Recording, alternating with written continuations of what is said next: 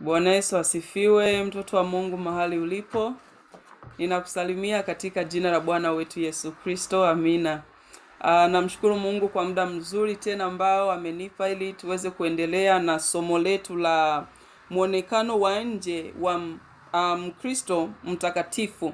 Mwonekano wa nje kwako ambaye uh, uliweza kunifata wiki iliyopita kwa neema za Mungu, tuliangalia hii hii topic ya mwonekano wa nje wa Mkristo mtakatifu, na kwa sababu mida ilienda haraka hatukuweza kumalizia, na siku ya leo ndo na a, nimepata neema tena kuja ili tuweze kuangalia jinsi gani ya kumalizia hii topic yetu ya mwonekano wa nje wa Mkristo mtakatifu. Kwa hiyo mpendwa, na ukaribisha sana katika jina la Bwana wetu Yesu Kristo.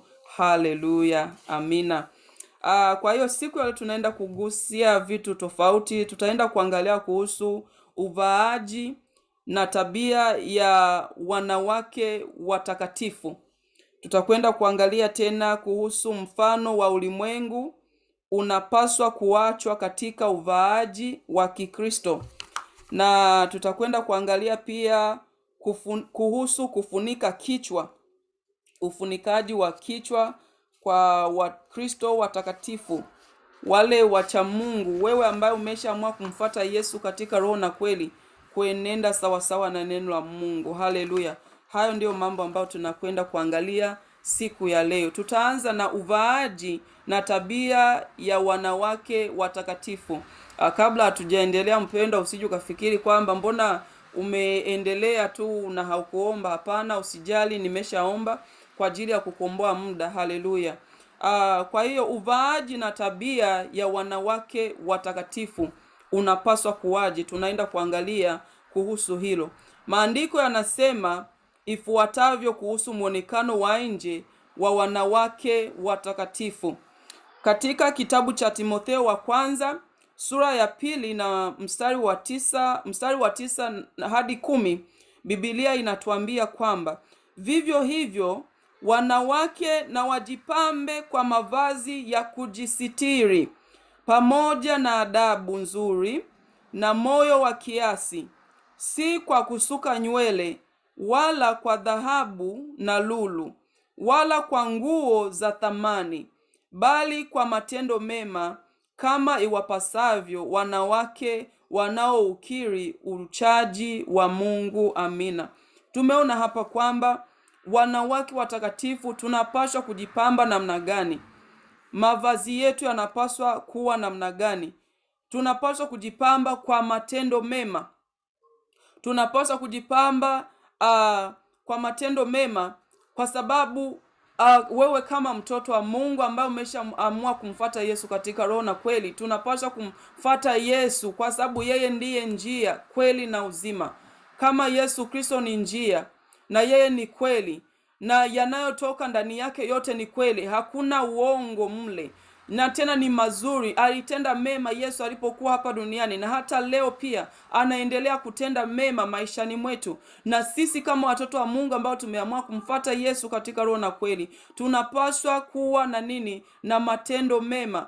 Na kitu kingine tunapaswa kuvaa Uh, kama sisi watoto watakatifu au wanawake watakatifu tunapaswa kujipamba na mavazi ya kujisitiri, mavazi yanayofunika mwili, mavazi ambayo hayaonyeshi uh, kifua, hayaonyeshi maziwa matiti yako, mavazi ambayo hayaonyeshi mgongo, hayaachi mgongo wazi, kama unavyoona kwenye watu wengi siku hizi kanisani. Wawe ni watu wa nje, matiti yako nje, mgongo uko wazi, yani wanaenda kushonesha hizo madesign wa, wa, wanajua wao wenyewe, kwa sababu wanachagua ile mishono ah, e, ambayo inaacha mgongo wazi, kifua wazi. Unakuta tena nguo nyingine ina, inaishia hapa kwenye kwenye bega hata ki, m, kwapa linaonekana kwapa liko wazi. Hayo sio mavazi ya kujistiri, hapana.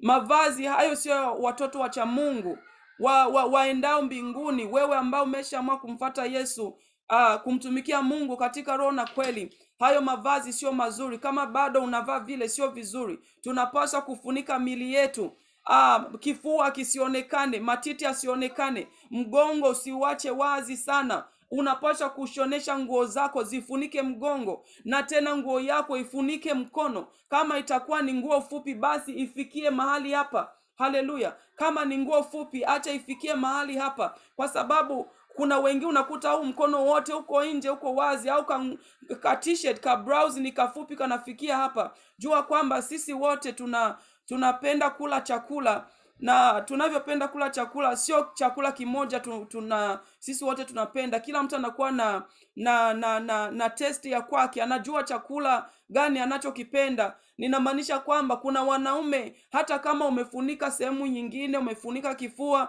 umefunika mgongo lakini kwa sababu ile sehemu ya hapa anaiona huu mwili anauona anakutamani anaona ngozi yako ilivyo laini akikuangalia tu vile ingawapo umefunika vizuri lakini kwa sababu ile sehemu iko wazi anakuwa na tamaa anakutamani. Na sisi kama watoto wa mungu hatupendi kuangusha watu wengine waende jehanamu kwa ajili yetu. Kwa hiyo mavazi ya kujistiri kwa sisi kama watoto wa mungu kama nimekwisha ongea ni mavazi yanayofunika mwili. Sio nguo ambayo kama umevaa sketi inafikia kwenye ma, ma, ma, magoti Uh, hiyo sio nguo nzuri kwako wewe kama mtoto wa, mungu. Wewe ambaye umeshaamua kumfata yesu katika roho na kweli unapaswa kuvaa nguo ambayo ina inafunika ma, magoti inafika hadi chini. Nguo nzuri ni ile ambayo inafika hadi chini kabisa. Uh, kwenye miguu yako inafunika vizuri. Na mavazi ya kujisitiri haya ambayo Biblia inatuambia ni yale mavazi tena ambayo hayaubani mwili kwa sababu kuna mtu mwingine unaweza akakuta anasema kwamba mimi ni ni mtumishi uh, mimi na ni mtoto wa mungu nimeshaamua kumfata yesu katika roho na kweli. Lakini unakuta mavazi yake ndio ni ya kujistiri anafunika mwili hayaachi mgongo wazi hayaachi kifua wazi matiti kuonekana hayaachi mkono wazi. Lakini unakuta ni nguo ambayo inabana sana inaleta shepu yote nje. Unakuta ni nguo inakuchora inakuchora mwili matiti yanaonekana kabisa. Ni kama vile nguo itachanika hata kuchanika. Ni nguo unakuta inakuonyesha shepu yote iko nje. Makalio yanaonekana. Uh, yani hiyo sio nguo nzuri. Tunapaswa kuvaa ndiyo ni nguo mavazi ya kujisitiri. Lakini acha nguo iwe na u, iwe uache nafasi uache nafasi ya nguo kupumua. Sio ile nguo ambayo inabana sana yani wewe mwenyewe ukisimama kila kitu chote kiko nje. Yani hata kama mtu umefunika ndio lakini eh, bado ki, vitu vyote viko nje. Yani ulivyo shepu inaonekana. Ah, hayo mavazi sio mavazi mazuri kwa sisi kama watoto ambao ah, tumekwisha amua kumfata yesu ah, katika roho na kweli au mavazi ya ya wanawake wanaomcha mungu uh, sisi ambao tumesha amua kumfata yesu katika roho na kweli au sio mavazi ya ya wa, wa, wa mkristo mtakatifu ha, huo sio mwonekano mzuri. Kwa hiyo tunapaswa ku, kujipamba kujipamba kwetu kunapaswa kuwa kwa mavazi ya kujisitiri kuna tunapaswa kujipamba na adabu. Kama watoto wa mungu tunapaswa kuwa na adabu kuwa na adabu kuwaheshimu wazazi kama biblia inatuambia tuwe tunawaheshimu wale ambao ni viongozi ambao mungu ametupa katika dini kuwaheshimu pia hata viongozi hawa ambao wanatuongoza katika uh, katika hii dunia tunapoishi hawa viongozi wa serikali. Lakini jua kwamba tunawaheshimu au tunawa, tuna tuna tunakuwa na adabu katika mambo ambayo yanaendana na neno la mungu. Sio wakileta mambo ya ambayo yanakufanya yana wewe kumkosea mungu una una unawatii unawasikiliza kwa sababu unataka kuonyesha adabu hapana. Tunapaswa kuwatii katika njia sahihi katika mambo ya mungu. Kwa sababu unapomtii uh, mwanadamu kwa, kwa sababu bibilia imesema kwamba tujipambe na adabu na wakati ni mtu anakuambia uende uh, kufanya ni mambo ambayo yanakutenganisha yana na mungu.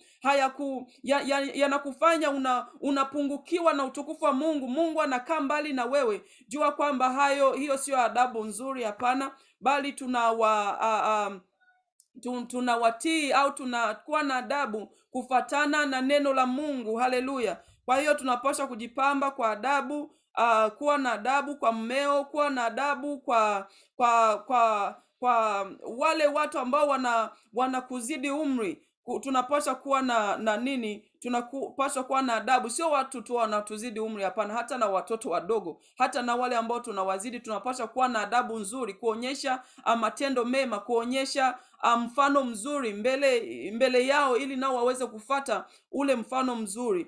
Na uh, tunapaswa kujipamba na adabu nzuri na moyo wa kiasi haleluya tusiwe watu wa kuona kitu tunakuwa na tamaa. Yaani unakuta nguo ikitoka unataka ile ile nguo kama ni kiatu ki, ki, ki, vipya vinatoka unataka vile na vitambaa vipya vinatoka unataka vile. Na wakati we mwenyewe unajua kwamba hata hela hauna labda hata mmeo hana hela za ku, za kukupa ili uweze kwenda kununua vile vitu kwa sababu ha, ha, ha, ha, ha, wewe unataka kila kitu ikitoka kila fasheni ikitoka wewe uvae uwe na kile kitu ili ukitembea katika uh, kwenye kwenye society watu hao wanakuona kwamba eh, fulani anajua kuvaa kabisa anakuwa anabadilisha anavaa hii anavaa vile. Hapana tunapaswa kuwa na nini? Na moyo wa kiasi. Sisi kama watoto wa mungu sio mambo ya mavazi tu kuwa na moyo wa kiasi tuna ka, ka, kama ka, tunavyoongea tunapaswa kuwa na kiasi kujikontrol namna gani tunavyo uh, mambo ambayo tunayaangalia au um, katika ma, vitu mbalimbali mbali, tu vitu mbalimbali. Mbali. hata kula tunapasha kuwa na na kiasi haleluya. Kwa sababu najua kwamba unapokula sana na unazidisha uh, ile ile ile capacity ya tumbo lako ujue kwamba baadaye uh, tumbo litaanza kukuuma. Tumbo litaanza kukuma kwa sababu ulikula sana ukashiba sana kwa hiyo tunapaswa kuwa na kiasi kwenye mambo mbalimbali. Mbali. sisi kama wa, watoto wa mungu ambao tumeshaamua kumfata yesu katika roho na kweli. Na mapambo yetu hapa bibilia inatuambia sio kwa kusuka nywele. Kama wale watu wa dunia wanavyofanya hapa bibilia haiongelee kusuka nywele hizi nywele tu wanakusuka ni nywele zako kawaida wanakusuka hapana. Bali inaongelea ni yale mambo wanaongezea vitu vingine wanaenda wana kama wanachukua nywele za wahindi nywele sijui kama ni za waarabu nywele za ambazo zimetengenezewa sijui kwenye vitu gani kama ni nywele za za, za, za minyama wamezitengeneza zinaonekana kama vile ni nywele za za za watu wakazipaka na rangi haya ndiyo mambo ambayo bibilia inakataza. Usiende kuchukua hayo manywele ya, ya wahindi hayo manywele ya wanadamu wenzako manywele ya kutoka kwenye maminyama uh, kwa sababu zimetengenezewa unaenda unaweka kwenye kichwa chako. Hayo hayatufai sisi kama watoto wa mungu. Haturuhusiwi kusuka na hizo nywele za bandia. Haupashi kuongezea kitu chochote kwenye nywele zako. Haleluya. Unapaswa kusuka nywele na nywele zako tu imi, uh, ili kwa sababu ili nywele zako ziweze kuku, kama unataka kuchana nywele zi, zi, uweze kutana vizuri hakuna matatizo aa, na uweze kuwa na nywele ndefu kama biblia inavyotuambia tunapaswa sisi kama mwanamke yuko na nywele ndefu na kuwa ni ni, ni, ni, ni, ni jambo zuri. Haleluya! Kwa kwa hiyo hizi nywele ambayo inaongelea kuhusu kusuka nywele sio hizi nywele zetu ambazo uh, tumezaliwa nazo ambazo Biblia inakataza bali kuenda kuchukua zile nywele zingine za watu au minyama unaongezea kwenye kichwa. Haleluya. Uh, au wale kuna watu wengine ambao wanasuka hata kama waweki nywele za minyama au nywele za watu wanasuka na uzi. Hizi uzi za za kufuma vitambaa unakuta wana hizi uzi za kufuma vitambaa nasema kwamba sio nywele kwa hiyo hata uzi haina shida naweza nikatengeneza nywele na uzi. Hapana bibilia ha, ha, hizo uzi tena pia hazi hazitakuonyesha vizuri kwa sababu ukiweka unakuta zinaonyesha kwamba kuna kitu uh, kingine ambacho umeweka pale. Kwa hiyo sio hizi uzi za kufuma vitambaa sio hizi nywele za watu sio hizi nywele za za minyama ambazo zinatoka kwenye minyama Ah, bali ni nywele hizi zetu tu za kawaida. Tunapaswa kusuka nywele vizuri tu sio kama mambo ya fashion haya kufata mambo ya dunia wanavyo design hizo za ajabu ajabu nini mambo tu ya kawaida kwa sababu tunapaswa kuwa na kiasi. Uwe na mwonekano mzuri kama wewe mtoto wa mungu. Kwa sababu kitu cha kwanza unafanya vile kusuka nywele zako ni kwa sababu unataka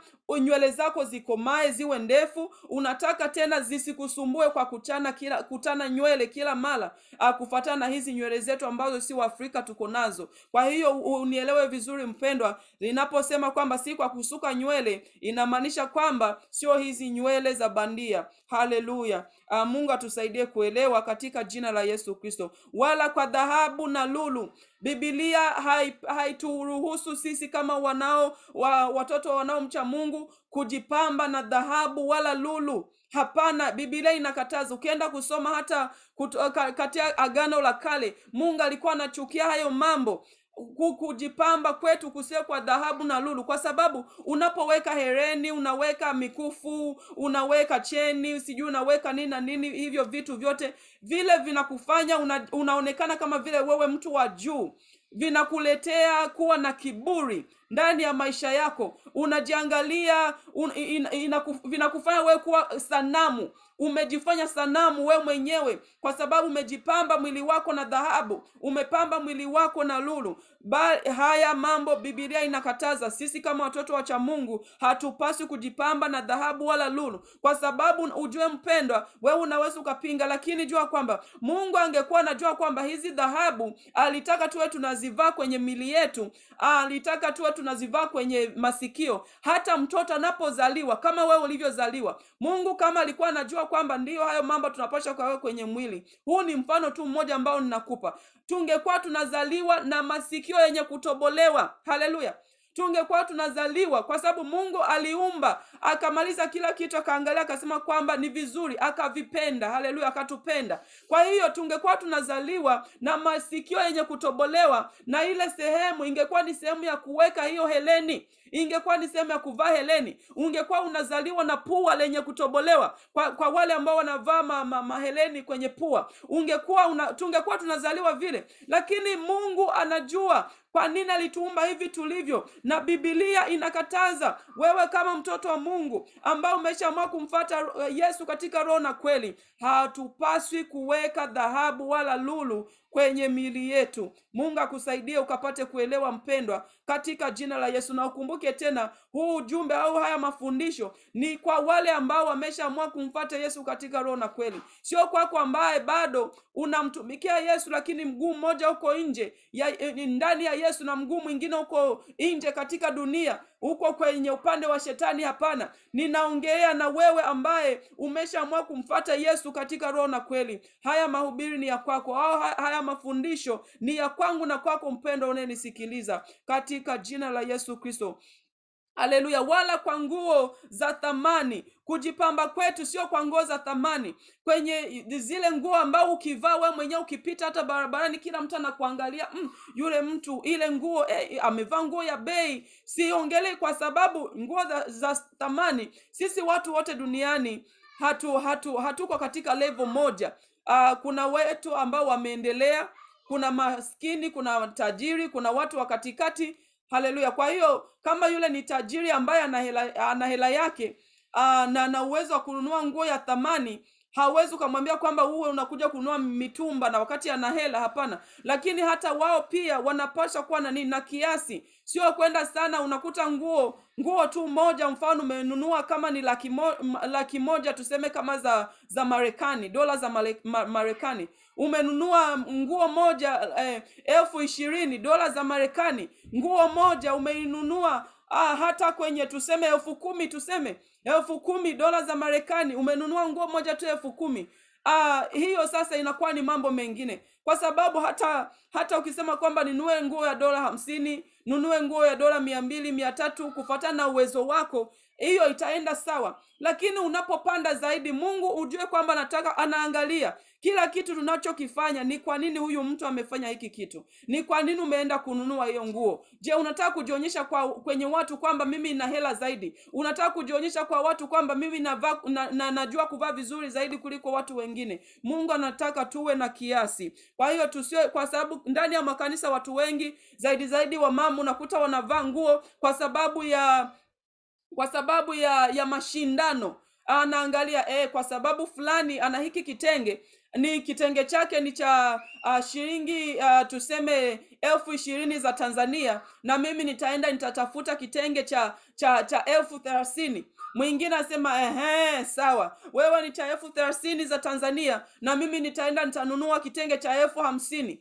Yaani unakuta ni mambo ya mashindano mashindano mashindano ndani ya kanisa. Hatupaswi kuwa na vile. Tuwe na kiasi. Kama neno la mungu ambavyo limetuambia katika jina la yesu kristo. Haleluya sisi watoto wa mungu ambao tuna tuna wanawake ambao wana, tuna uki, ukiri uchaji wa mungu hatupaswi kujipamba katika haya mambo ya kidunia. Hatupaswi kuwa na mashindano kuvaa kwa sababu ya fulani na mimi anione na mimi nionekane wasifikiri kwamba mimi sina kitu kwamba mimi sina uwezo. Hapana hatupaswi kuwa vile sisi kama watoto wa mungu. Mungu atusaidie sana katika jina la bwana wetu yesu kristo. Haleluya. Ah, katika petro wa kwanza sura ya tatu mstari wa tano hadi ah, mstari wa pili hadi mstari wa tano bibilia inasema petro wa kwanza sura ya tatu kuanzia mstari wa pili hadi mstari wa tano bibilia inasema uh, wakiutazama mwenendo wenu safi na wahofu kujipamba kwenu kusiwe kujipamba kwa nje yaani kusuka nywele na kujitia dhahabu na kuvalia mavazi bali kuwe utu wa moyo usioonekana katika mapambo yasiyoharibika yaani roho ya upole na utulivu iliyo ya thamani kuu mbele za mungu. Maana hivyo ndivyo walivyojipamba wanawake watakatifu wa zamani waliomtumaini mungu na kuwatii waume zao. Amina. Tunaona hapa tena mtume petro naye anaongea kwa sababu katika kile kitabu cha timotheo wa kwanza mtume paulo yule ndiye alikuwa anaongea pale. Ali, ali, ali, ali, a, mtume paulo ndiye ambaye ali, aliandika hii barua. Lakini hapa tunaona naye petro pia anaongelea ni yale yale a, ku, a, ku, a, ku, wakiutazama a, mwendo wenu safi na wahofu sisi kama watoto wa mungu tunapaswa kuwa na mwendo safi tena wahofu haleluya. Tuonekane mienendo yetu yote mienendo yetu yetu yote, yetu ya maisha uvaaji wetu uwe safi mwonekano wetu uwe safi uh, katika uh, uh, kuongea tuwe tunaongea uh, tukiwa na na na, na na na na, na moyo wa kiasi ku, tukiwa na control. Sio kuongea ongea tu kukurupuka tu kuongea. Hapana. Tunapaswa kuwa na mwenendo nini kuwa na mwenendo safi na tunapaswa kuwa na hofu ya mungu ndani ya maisha yetu katika yale yote ambayo tunafanya katika mambo ya kuvaa tuwe tunavaa na mavazi mazuri ya kujisitiri na kuwa na nini na, ma, na, na, na kuwa na hofu moyo wa hofu. Kwa sababu mungu anatuangalia katika yale yote ambayo tunayafanya kila wakati unapokuwa sehemu yoyote ile mungu anakuangalia na ananiangalia. Na kumbuka kwamba malaika wa mungu unapokwenda sehemu yoyote ile mtoto wa mungu kumbuka kwamba malaika wa mungu yuko pamoja nawe. Yule ambaye anachukua rekodi ya kila kitu ambacho unakifanya kila mambo ambayo unayafanya anachukua rekodi. Na ndiyo maana nikaongea katika mambo ya kununua nguo. Mungu anaangalia ndani ya moyo wangu kwa nini nanunua ile nguo? Je ninataka kuvaa kwa sababu ya kuwaonyesha watu wengine au ninataka kuvaa kwa sababu ya utukufu wa mungu ndani ya maisha yangu. Haleluya. Na ndiyo maana tunapaswa kuwa na moyo wa hofu katika yale yale mambo yote ambayo tunayatenda. Tunapaswa kuwa na moyo wa hofu. Haleluya. Kujipamba kwetu kusiwe kujipamba kwa nje muonekano wa nje kujipamba e, nyuso zetu Ah, tunaweka unakuta mtu uko na, na na mwili tu wa, wa kawaida rangi nyeusi kama mungu alivyokuumba lakini unakuta una haujipendi tena ulivyo kwa sababu na um, unaona mwingine fulani yeye kajikrim na we unaenda unachukua tena wanakudunga sindano au unapigwa sindano unaenda wana wana uh, una, unameza dawa unaenda unajipaka hizi ma, ma, ma cream tofauti ili ngozi yako ibadilike ifanane kama vile ngozi ya mzungu. Jua kwamba hayo sio mambo mazuri. Kujipamba kwetu kusiwe kujipamba kwa nje. Sio mambo ya nje hapana.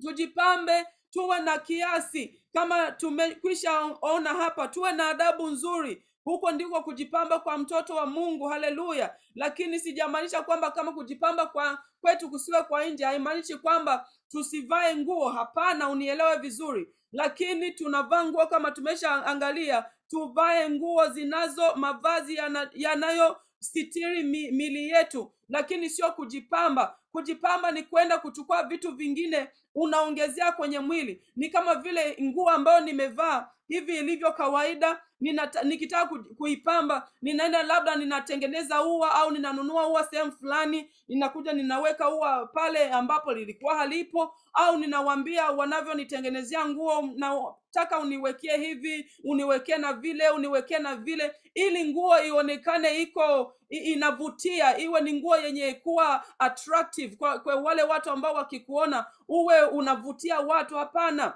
sisi watoto wa mungu tunavaa ni kwa kujisitiri tunavaa ni kwa kufunika mwili tusi hatuvai kwa ku, kwa kuita wateja kwetu kwa kuwaita watu kwamba waje uh, watufuate hapana. Ndiyo tunavyojisitiri hivi tunakuwa tumekuwa ni barua tunaonekana vizuri mbele ya watu. Ndiyo wale ambao wako ndani ya dunia wanavaa mavazi ya, ya, ya, ya wa, makahaba wanavyoenenda kama vile washerati yale mavazi ambayo sio mavazi ya kujisitiri. Ndiyo kama ni yule ambaye mungu amemgusa mungu ataweza kumgusa uh, kufa, kufatana na wewe na mavazi yako ambayo unayavaa ataangalia na, na kukupenda na kupenda unavyovaa na ataweza kubadili maisha yake kwa sababu yako wewe. Ndiyo tunavaa ili tuweze kuwa uh, mama tuweze kuwa barua nzuri kwa watu lakini sio mavazi ya ku, ya ku, ya kuwavutia watu kama vile wanaume. Kuwavutia kwetu kuanza kutu, kutupenda. Sio upendo ule wa agape bali ni ule upendo wa kutaka kulala na wewe kuonana na wewe kimwili. Tunawavutia kwetu wanatutamani wanakutamani ndani ya moyo wao na wanaanza kuzini na wewe au kusheratika na wewe kwenye mawazo. Huo sio ndio uvaaji ambao tunaongelea au sio kuvutia watu ambao tunako kuongelea hapana. Mungu atusaidie sana katika jina la yesu kristo ana petro mtume pia anayeongelea kama paulo alivyosema ku- ku- kujipamba kwetu kusio kwa kusuka nywele. Na hapa petro naye anaongea katika mstari wa tatu kusiwe kusuka nywele. Kujipamba kwetu kusiwe kwa kusuka nywele, nywele. Na kujitia dhahabu. Petro pia anasema dhahabu. Mtume paulo hapa alisema ah, dhahabu na lulu. Petro naye pia anaongea hapa anasema kusiwe kujitia dhahabu na kuvalia mavazi. Hapa kuvalia mavazi tunaona mtume paulo alisema kwamba kwa, wala kwa nguo za thamani. Petro hapa yeye analiongelea kwamba na kuvalia mavazi hizi ni zile nguo za thamani kama nimekwisha ongea. Bali kuwe katika mstari wa nne. Kumbuka anasoma petro wa kwanza sura ya tatu mstari wa pili hadi mstari wa tano. Mstari wa nne anasema kwamba bali uwe utu wa moyoni usioonekana. Kama pe, mtume paulo alivyosema kwamba uh, na kwa moyo wa kiasi. Haleluya! Pamoja na adabu. Hapa petro anatuambia kujipamba kwetu sisi wa kristo kunapashwa. Sio wanawake tu hata wanaume pia. Hata wanaume pia na vijana. Sio wanawake tu. Tunapaswa kujipamba na moyo wa uh, mo, uh, na, na utu wetu wa moyoni usioonekana ndani ya nafsi zetu ndani ya moyo wetu kunapaswa kuwe ni pasafi. Haleluya. Na ndiyo maana mkristo ambaye ni mkristo wa kweli tunapaswa kuwa safi mbele za mungu ndani na nje. Tuonekane wasafi watakatifu ndani na nje. Uvaaji wetu wa nje tuvae mavazi ya watakatifu. Hata no, uh, roho zetu pia tuwe ni watakatifu ndani ya mioyo yetu. Kusiwe na chuki kusiwe na kiburi kusiwe na majivuno kusiwe na na, na, na, na, na hasira kusiwe na haya mambo mengine kwa sababu mungu anataka tuwe mia kwa mia ndani ya roho zetu na mia kwa mia nje pia. Tuonekane mbele za mungu tukiwa hatuna uh, doa lolote lile wa, uchafu wowote ule wala mawa haleluya. Mungu atusaidie sana. Katika jina la yesu kristo. Uh, katika uh, mapambo yasiyoharibika yaani roho ya upole na utulivu tunapaswa ku, kujipamba si wa kristo watoto wa mungu na roho ya upole na utulivu. Haleluya. Ili iliyo ya thamani kuu mbele za mungu. Moyo wa upole. Uh, roho ya upole na utulivu ndiko kujipamba ambako ni kwa thamani mbele za mungu. Kuliko haya mambo ya hawa watu ambayo unachukua unavaa hereni unavaa a- a- a- ma, ma, ma, una, una, unavaa ah, mikufu unavaa sijui bangili unavaa vitu tofauti ili uweze ku, ku, kuonekana kwa watu kwamba na wewe una uwezo uonekane kwamba na wewe sio mtu wa chini uonekane kwamba ndio umependeza. Hapana bali upole na utulivu. Ndivyo uh, vitu vya thamani kuu mbele za mungu na sio mambo ya dhahabu hayo mambo ya dhahabu na lulu mungu anayachukia. Mungu hapendi kukuona wewe unajifanya kama vile sanamu mtoto wa mungu hapana. Hayo ni mambo ya watu wa dunia. Hayo ni mambo ya wale ambao bado wako uh, katika mambo upande wa shetani sio watoto wa mungu bali wewe ambaye unajua kwamba umeshaamua kumfata yesu katika roho na kweli. Hatupaswi kujipamba na hayo mambo. Mungu atusaidie sana katika jina la yesu mstari wa tano unasema maana hivyo ndivyo walivyojipamba wanawake watakatifu wa zamani. Wanawake watakatifu wa zamani ndivyo walivyojipamba hivi. Ah, haleluya. Walijipamba na moyo wa upole na utulivu na walijipamba na mavazi ya kujisitiri. Walifunika mili yao. Hawakuwa wanavaa nguo za kuwabana sana ingawapo zinaweza zikafunika sehemu sehemu za za za za, za uh, kama uh, bibilia inavyotuambia bali walijipamba na nini? Na mavazi ya kujisitiri. Walijipamba na moyo wa upole na utulivu. Walijipamba na kiasi. Ndivyo wanawake wa zamani wa, wa, wa, wa kina sera uh, uh, mke wa, wa, wa sara mke wa, wa ibrahimu ndivyo walivyojipamba wakina debora ndivyo walivyojipamba wakina joana tunaowasoma walipo waliokuwa wafuasi wa yesu. Ndivyo walivyojipamba Ma, maisha yao yalivyobadilika wakaanza kujipamba na mavazi ya kujisitiri na moyo wa kiasi na moyo wa upole na wenye utulivu. Ndivyo na sisi tunapaswa kufata njia hiyo hiyo. Haleluya Ah, wa, wa hawa walikuwa ni wanawake watakatifu wa zamani.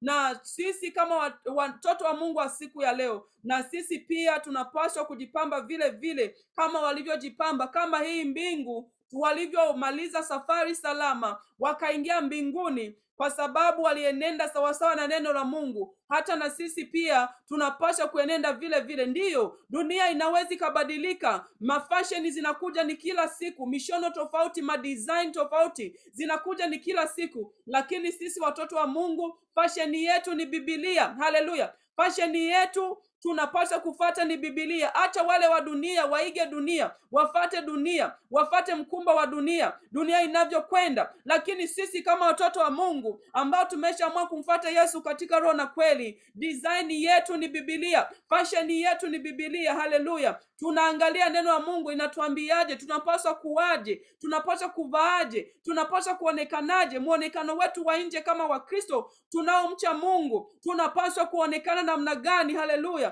ili kati yetu na watu wa dunia kuwe na utofauti kati ya debora na kati ya De- delila.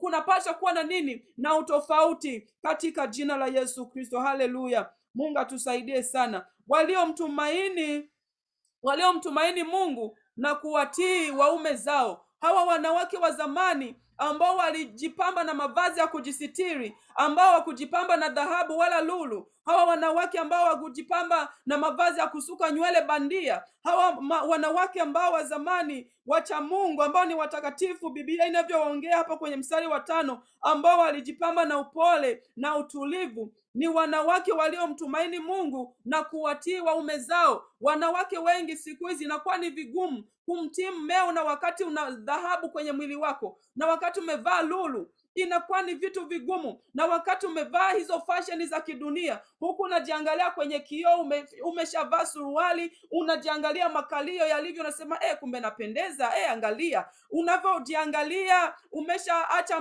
mgongo wazi. Ukijiangalia kwenye kioo eh, nina mgongo mzuri nina kifua kizuri.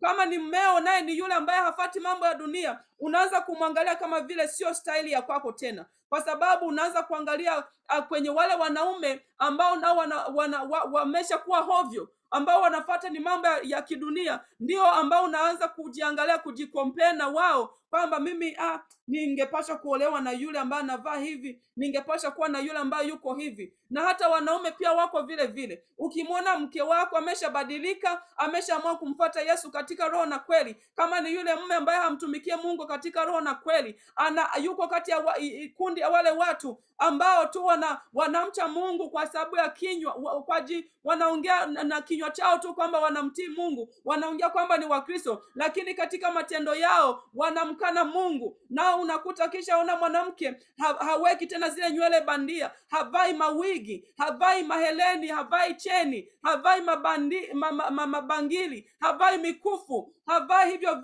havai suruali havai tena nguo za kuacha mgongo wazi havai nguo za kuacha kifua wazi matiti yako nje anaanza kumwona kama vile hafai. Ni kama vile sio mzuri tena mbele zake. Anaanza kumwona kwamba hafai. Akiona wale wa nje ambao wamevaa suruali wakipita ndio ambao anakuwa anawatamani anaona kwamba wale ndio wazuri. Yule ndiye ambaye anapaswa kuwa na mimi sio huyu ambaye anaonekana kama vile mzee kama watu wanavyotuita ati tunaonekana kama wazee. Lakini acha tuonekane kama wazee kwa ajili ya kum, kum, kum, kwa ajili ya, ku, ya, ya kumpa mungu utukufu ndani ya maisha yetu. Kwa sababu sisi fashion yetu ni bibilia sisi design yetu ni bibilia tunaangalia bibilia inasemaje kuhusu mavazi ya kujisitiri. Haleluya. Kuhusu mwonekano wa nje wa mkristo mtakatifu tunapaswa kuwa namna gani? Mungu atusaidie sana. Kwa hiyo au wanawake wa hivi inakuwa ni vigumu sana kumtii mmeo. Na wakati umeshajipamba umeshaweka haya kule umeshaweka hizo nywele sijui kama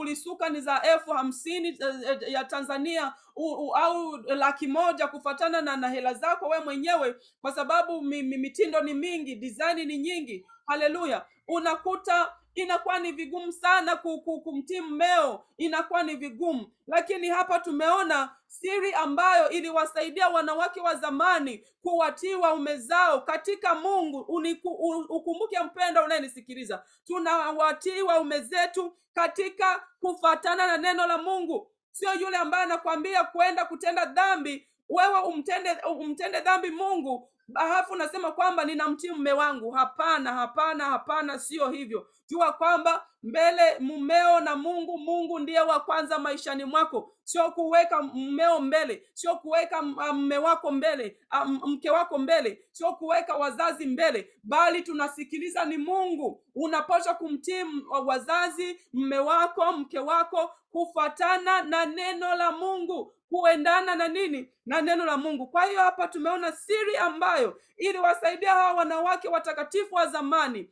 Ah, wakina debora wakina sara wakina wa- hawa wakina wakina ana wakina hawa wote ambao tunawasoma katika bibilia agano la kale na agano la sasa tunaona kwamba kilichowasaidia walikuwa wanavaa uh, wanavaa nguo uh, na mavazi ya kujisitiri. Walikuwa waweki dhahabu kwenye mili yao ndivyo bibilia inatuambia uh, kwamba uh, uh, maana hivyo ndivyo walivyojipamba wanawake watakatifu wa zamani. Hapa bibilia inatuonyesha wakina sara walipobadilika wakaamua kumtumikia mungu katika roho na kweli walikuwa wanavaa namna gani? Walikuwa wavai na ma, ma, ma, ma, mavazi ya, ya, ya, ya bei ya kujionyesha kwamba unakuta unamsumbua mmeo hasinzii halali kwa sababu unamsumbua una, una, una, una la, lazima unipe e, e, laki moja lazima unipe laki mbili ili ninunue kile kitenge ili niende wanisuke nywele ili niende ninunue yale mafuta ya kujipodoa ili niende nifanye hivi na vile. Unamsumbua na wakati hata hela zenyewe hana. Lakini hapa tumeona kwamba kilichowasaidia kukaa na waume zao ndani ya nyumba zao kwenye amani ikawasaidia kuwatii waume zao walikuwa wanavaa na mavazi ya kujisitiri. Walikuwa wanavaa na wa, walikuwa waweke haya mambo ya luru na madhahabu. Walikuwa wanajipamba na upole na utulivu. Walikuwa wanajipamba na moyo wa kiasi walikuwa wanajipamba na sio na lulu wala dhahabu. Walikuwa hawajipambi kwa nguo za thamani. Na hivi ndivyo mtume petro ananiambia mimi na wewe mama unayenisikiliza wewe binti unayenisikiliza hata wewe baba unayenisikiliza ama kijana tunapaswa kujipamba hivi kwa sababu ndivyo wanawake wa zamani wale watakatifu ambao wali kwa sababu biblia inasema ndivyo walivyojipamba wanawake watakatifu biblia hakusema kwamba wanawake wa zamani. Hapana. Kwa sababu hata ule wakati ku- walikuwepo waliokuwa wanajipamba uh, na haya mambo ya dhahabu na lulu na nguo za, za, za, za, za bei na vitu kama hivyo. Bali neno la mungu imetuambia kwamba walivyojipamba wanawake watakatifu. Haleluya. Wa zamani ndivyo walivyojipamba. Na ukumbuke topic yetu inaongea kwamba mwonekano wa nje wa mkristo mtakatifu. Mkristo mtakatifu sio mkristo tu hapana kwa sababu wakristo tuko wengi lakini sisi wote sio watakatifu hatuenendi sawasawa na neno la mungu. Hatuongozwi na roho mtakatifu bali tunajiongoza sisi wenyewe. Bali dunia ndiyo inayotuongoza. Dunia ikigeuka huku na sisi tunaenda ni kule kule. Dunia ikienda chini wote wakienda wanatembea vichwa viko chini. Sisi wote kama ni wakristo kama sio wakristo wote vichwa ni chini. Hao ni wale wakristo ambao unakuta mguu mmoja ndani ya kristo na mguu mwingine ndani ya shetani. Lakini hili neno ni kwa ajili ya nani? Ni kwa ajili ya mkristo ambaye ni mtakatifu kama hapa petro wa kwanza sura ya tatu mstari wa tano imetuambia kwamba ndivyo walivyojipamba wanawake watakatifu wa zamani. Sio wanawake wa zamani aliweka ile neno watakatifu. Ndivyo walivyojipamba walimtumaini mungu na kuwatii waume zao. Haleluya. Kwa hiyo na sisi tunavyofanya vile vitatusaidia kwa sababu kiburi kitaondoka majivuno yataondoka kujana kwamba mimi ni mzuri. Hautafanya masaa na masaa uko kwenye kioo unajipaka sijui foundation unaweka poda unaweka sijui rangi hapa unaweka rangi kule unaweka hivi na vile. Ukitoka pale umeshajifanya kapepo we mwenyewe unafanana ni pepo kabisa haufanani na wewe ulivyo.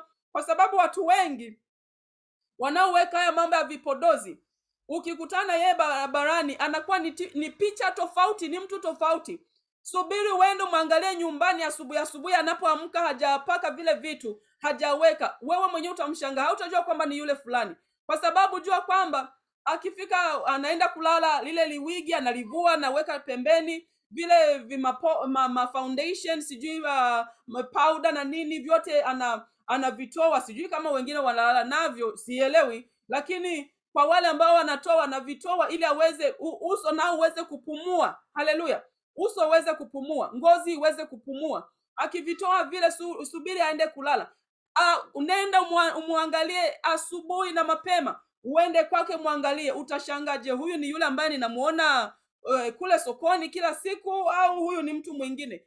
Au takubali kama ni yeye kwa sababu yeye yu, anaishi ni maisha ya watu wawili na ni mtu mmoja huku anaishi akienda kulala anakuwa ni yeye yule yule ambaye mungu alimuumba. Lakini anapoamuka na kwanza siku na kwaenda labda kazini anaenda sijui wapi sehemu mbalimbali utakutana na sura nyingine. Siyo ile sura ambayo inaenda kulala kitandani bali utakutana na sura nyingine ambayo ni sura bandia sura ya mapepo. Umejipaka huku na kule umejichubua umefa, umepaka sijui wanja umepaka sijui nini we mwenyewe unayajua. Kaweka rangi sijui ya kijani huku na uh, rangi nyingine ya, ya, ya bluu huku unaweka yani we umekuwa ni wa marangi marangi umekuwa kama kinyonga unajibadili rangi umekuwa kinyonga. Sisi wakristo wacha mungu hatupaswi kufanana na vinyonga. Hatupaswi kujibadilisha marangi kama vinyonga. Bali sisi tunapata kujifanyaje? Kujipamba kama wanawake wa zamani watakatifu walivyojipamba. Haleluya! Waliomtumaini mungu na kuwatii waume zao. Mungu atusaidie sana katika jina la yesu kristo. Neno dhahabu kwe uh, neno dhahabu. Hili neno dhahabu kwenye aya za hapo juu inamaanisha vito vya thamani. Hili neno dhahabu tumeona dhahabu tumeona lulu. Linamaanisha hili neno dhahabu uh, uh, ina- linamaanisha vito vya thamani ambalo ni neno la la kijumla kwa hili hili neno dhahabu ni neno la kijumla kwa kwa heleni za masikioni kwa ni neno la kijumla kwa bangili kwa uh, uh, bangili uh, za au uh, za pua au heleni za pua uh, kwa mikufu kwa shanga um, na vitu vya urembo au mapambo ya mwili. Hili neno dhahabu ambalo limeongelewa hapa ni neno ambayo inaongea kwenye haya mambo tofauti mahereni sijui uh, bangili sijui mikufu sijui cheni sijui heleni za kwenye pua sijui hivi vitu tofauti. Ndilo neno dhahabu ambalo hapa biblia ime, kama imeongea dhahabu imemaanisha ni haya mambo yote. Haleluya haleluya. Wanawake uh, watakatifu wa kale hawakujipamba na vitu vya urembo na mambo ya ulimwengu. Kama tumekwisha ona petro mwenyewe anatuambia katika mstari wa tano petro wa kwanza sura ya tatu mstari wa tano tumekwisha ona. Wanawake wa, wa zamani watakatifu sio wa zamani wote hapana. Wanawake wa zamani watakatifu hawakujipamba na nini? Na mambo ya, ya, ya, ya, ya, ya, ya, ya haya mambo ya kidunia. Hawaku wanawake wa zamani watakatifu hawakujipamba na vitu vya urembo. Unataka kuwa mrembo ukitembea wanakuita e mrembo njoo hapa unataka uwavutie wanaume uonekane wewe ni mrembo mbele, ya macho yao? Hapana hawakuweza kufanya haya mambo kama kama vile yale mambo ya ulimwengu. Ila wali, walionekana kwa walionekana kwa waliorudi nyuma na jamii ya wasiowacha mungu. Wale ambao walijipamba na dhahabu wakajipamba na lulu hawakujipamba na mavazi ya kujisitiri ni wa, wakajipamba na nguo za bei nguo za, za, za thamani uh, ni wale ambao hayo mapa, ma, maji, ma, mavazi ya hivyo au hivyo vi, virembesho vya hivyo vilionekana kwa wale wanawake wa zamani waliorudi nyuma. Haleluya!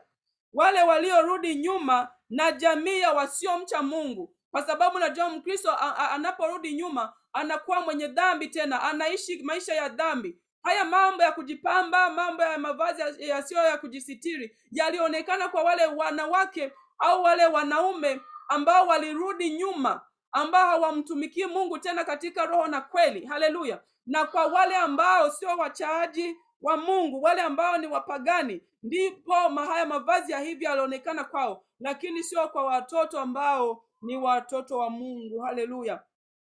Wao walijivika upole. Watoto watakatifu wanawake watakatifu wa zamani walijivika nini? Kama tulivyokwisha kuona walijivika upole. Walijivika roho ya utulivu na, u, na, na utakatifu. Walijivika na roho ya upole walijivika na roho ya utulivu na roho ya utakatifu. Haleluya ambavyo mbele za macho ya mungu vilikuwa vya thamani sana na hata siku ya leo bado viko vya thamani sana kwa sababu mungu hajabadilika. Dunia inaweza ikabadilika lakini mungu yeye bado yuko pale pale kwa sababu mungu ni yule yule jana leo na hata milele. Haleluya! Kwa hiyo ah, vilikuwa ni vitu vya thamani sana upole utulivu na nguo za kujisitiri na sio haya mambo ya nywele bandia na vitu vingine kama mambo ya wa, wa, wa dunia wanavyofanya au wale ambao wa, wa, wanawake ambao wamesharudi nyuma hawamtumikii mungu katika roho na kweli ni vitu ambavyo viko vya thamani sana. Unavyopojipamba na moyo wa wa, wa adabu unavyopojipamba na moyo wa kiasi unapojipamba na na na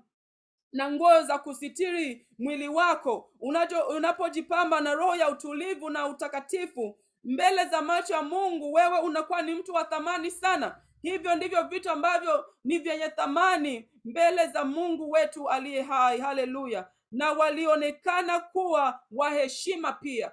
Kwa sababu wala wanawake ambao walikuwa wanavaa ma, mavazi kama haya ya kujisitiri walionekana wakiwa na mavazi walionekana wakiwa wenye heshima. Walikuwa wanawaheshimu. Hata siku za leo pia kwa sababu watu wengi leo wawe ni wapagani wawe sio wapagani watu wote wanafanana. Yaani heshima haipo tena. Tunajiondolea heshima sisi wenyewe kwa sababu kila kitu tunaweka wazi. Kila kitu tunaweka wazi. Yale mambo ambayo mmeo ndiye angepasha kuyaona mwili wako ambao mme wako tu ndiye anapasha kuona maziwa yako uh, huo mgongo kama ni mzuri mungu alikupa ndiyo ni vizuri mungu asifiwe lakini mmeo ndiye anapasha kuona. Lakini siku za leo haviko vile mambo yote yako wazi. Tunaacha mapaja wazi.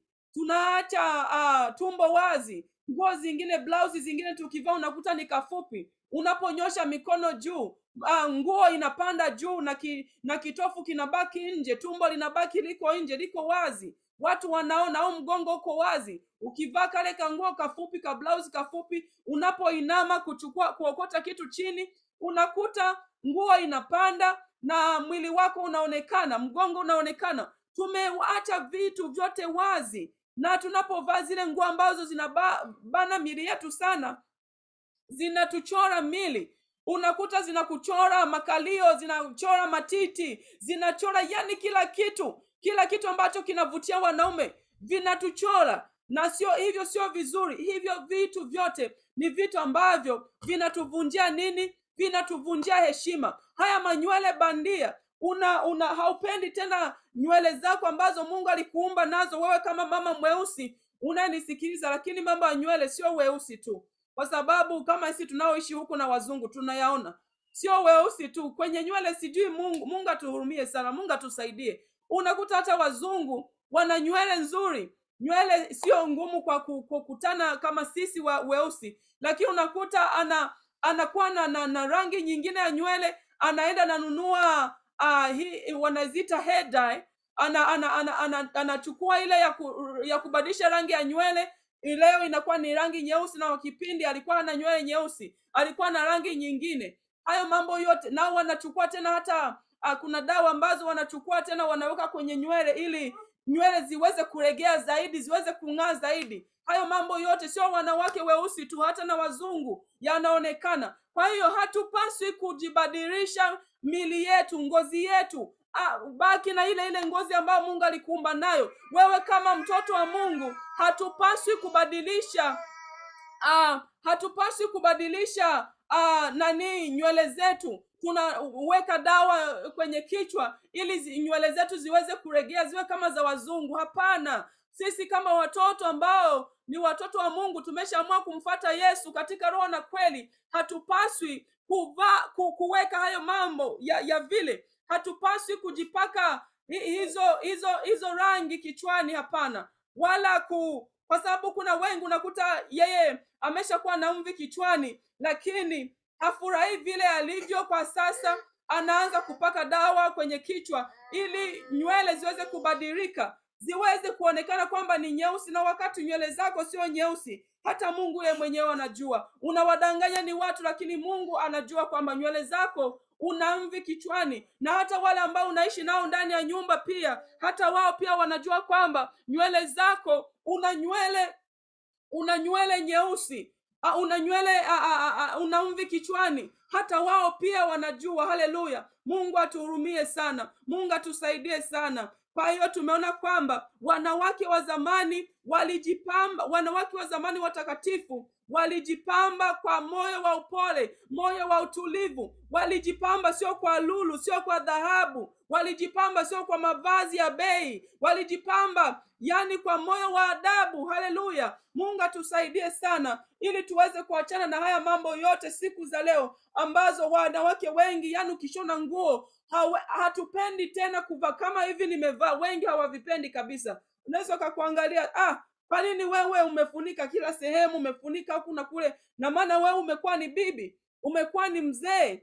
Hapana lakini ndivyo Biblia imetuonyesha katika kitabu cha petro wa kwanza sura ya tatu mstari wa, wa pili hadi tano. Mstari wa tano tumeona kwamba maana hivyo ndivyo walivyojipamba wanawake watakatifu wa zamani waliomtumaini mungu na kuwatii waume zao. Mungu atuhurumie sana mungu atusaidie sana ili tuweze kubadilika kwa sababu unyakuo unakaribia. Bwana yesu anakaribia kurudi haleluya. Na hata kifo pia mpendo unayenisikiliza kiko mlangoni. Ha, sijui siku ya kufa kwangu. Wewe unayenisikia pia haujui ni siku gani utatoweka hapa duniani.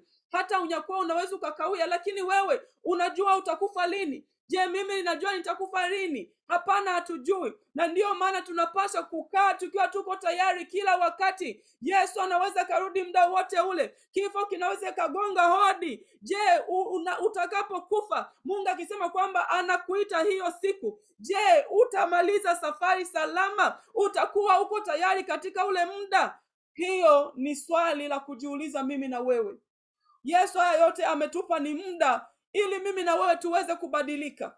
Kwa sababu hafurahii kifo cha wale ambao wanakufa katika dhambi na wanaenda motoni. Hapana. Kumbuka kwamba hakuumba jehanamu kwa ajili ya mwanadamu bali aliumba jehanamu kwa sababu ya shetani. Ibilisi ambaye alimkosea ali, ali mungu kule mbinguni na wale malaika ambao walienda upande wa shetani wakawa wameangushwa na akawaumbia jehanamu kwa, kwa, kwa jehanamu uh, ziwa liwakalo moto na kiberiti. Kwa, kwa sababu ya nini?